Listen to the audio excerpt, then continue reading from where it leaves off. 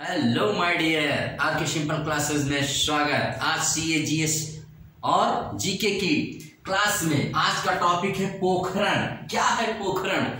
तो बताते हैं पोखरण के बारे में। भारत आज गर्व से आज का डे बड़ा स्पेशल है।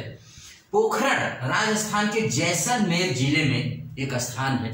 थार रेगिस्तान। भारत का सबसे बड़ा रेगिस्तान कौन सा है? थार रेगिस्तान, जो राजस्थान के पश्चिमी भाग में पड़ता है और वहीं पर एक जिला है जैसलमेर, उसी में एक स्थान है पोखरण, एक कस्बा भी है। यहीं पर भारत ने सबसे पहले अपना 18 मई 1974 को बुद्धा स्माइलिंग ऑपरेशन के नाम से उनचास साल पहले, आज से उनचास साल पहले पहला परमाणु परीक्षण किया था, न्यूक्लियर टेस्ट किया था भाई। याद रखिएगा, पहली बार भारत ने यहीं पर किया था, उसका नाम था स्माइलिंग बुद्धा। कब? 18 मई 1974 उसमें प्रधानमंत्री कौन थी हमारी? इंदिरा गांधी जी। ये परीक्षण भी सक्सेस रहा, लेकिन उतना नहीं, दुनिया भी हमको मान नहीं पाई कि हम परमाणु परमाणु संपन्न हैं, एटमिक पावर हैं। ज़रूरत थी कि इसके अनुभव से कुछ सीखा जाए और पूरी दुनिया को बताया जाए। कि हम परमाणु संपन्न हैं।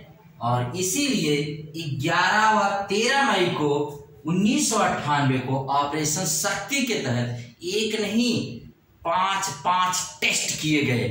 कहा? पोखरण में।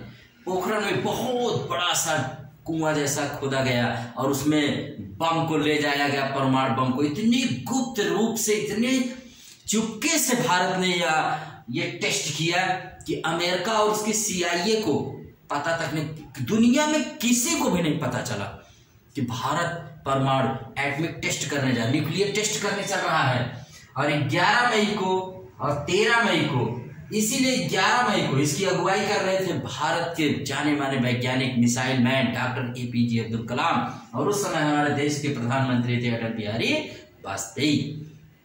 जब इन्होंने इसका टेस्ट किया ग्यारह मई को और सक्सेस रहा, पूरी दुनिया हिल गई। अमेरिका, इजराइल को छोड़कर सारी दुनिया ने भारत पर क्या लगा दिया भाई? आर्थिक प्रतिबंध लगा दिया। भारत इसको जानता था कि इतना तो होगा ही। लेकिन उसने 11 और 13 मई को ऑपरेशन शक्ति के द्वारा पाँच टेस्ट कर करके ऐसा न्यूक्लियर टेस्ट किया। आज हम इसकी 25 साल पहले ऐसा किया था, आज हम इसकी रजत जयंती मना रहे हैं। रजत जयंती मना रहे हैं और 11 मई से प्रभावित होकर के इसको भारत का नेशनल टेक्नोलॉजी डे घोषित कर दिया गया राष्ट्रीय प्रौद्योगिकी दिवस, यानी आज राष्ट्रीय प्रौद्योगिकी दिवस है। इस पर फ़िल्में भी बनी हैं, जैसे आप 2018 में आई परमाणु द स्टोरी ऑफ़ पोखरण और रॉकेट बॉयज़। ये सब इस पर फ़िल्में आई हैं। ये तो ओटीटी पे आई थी वेब सीरीज़ है। इसमें सेकेंड पार्ट में आप देखेंगे तो पूरा इसमें परमाणु के बारे में बताया गया है। इसका हिस्सा रहे, इसका हिस्सा रहे तो ये बताते हैं कि ये सब बड़े ही गुप्त तरीके से किया गया, इतने गुप्त तरीके से बैसाख पूर्णिमा के दिन। देखिए वैशाख पूर्णिमा मैंने आपको बताया कि एक ऐसा डे होता है जिस दिन बुद्ध जी जन्मे थे, उनको ज्ञान प्राप्त हुआ था, उसी दिन उनकी मृत्यु हुई थी। वैशाख पूर्णिमा, बुद्धा स्माइलिंग, बुद्धा मुस्कुरा रहे हैं। पहला टेस्ट हमने इसके नाम पे किया, ऑपरेशन शक्ति इसके नाम पे किया। उस पर बहुत सारे, उस पर थे। जैसे उस समय हमारे राष्ट्रपति दक्षिण अमेरिका जाने वाले थे, उनकी यात्रा रोक दी गई। एक डॉक्टर अनिल काकोदकर थे। उनकी बेटी की शादी थी। उसको स्थगित करना पड़ा। मतलब इतना गुप्त तरीके से हमारे सारे वैज्ञानिक सेना की वर्दी में काम कर रहे थे। वो कोड में बातें करते थे। एक कोड में एक दूसरे से कोड में बातें करते वो अपना असली नाम भूल गए थे। और इसी जब ये परमाणु परीक्षण भारत ने किया ना, पूरी दुनिया हिल गई। क्योंकि भारत में अपरमाणु संधि पर बिना हस्ताक्षर किए टेस्ट कर दिया इसको।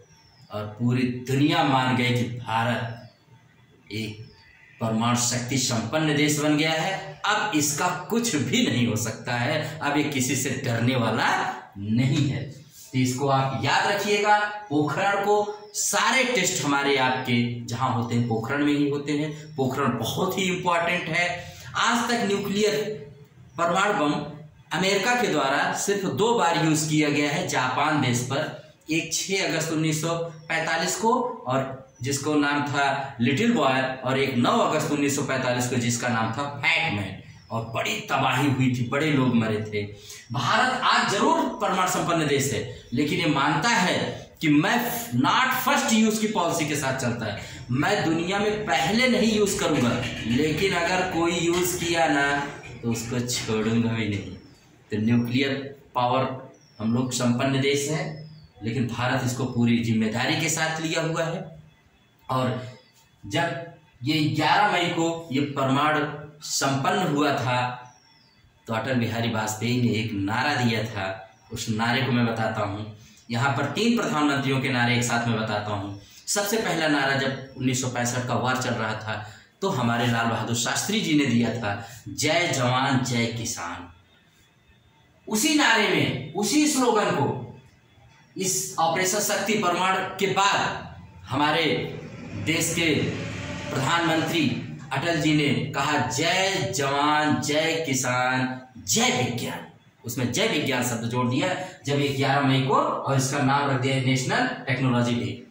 उसी नारे को हमारे मोदी जी ने अभी हाल ही में, ठीक है, उस नारे को क्या कर दिया? जय जवान, जय किसान, जय विज्ञान, जय अनुसंधान। ये तीन प्रधानमंत्रियों ने लाल बहादुर शास्त्री के छोटे से नारे को बड़ा सा नारा कर दिया है, बड़ा सा स्लोगन हो गया है।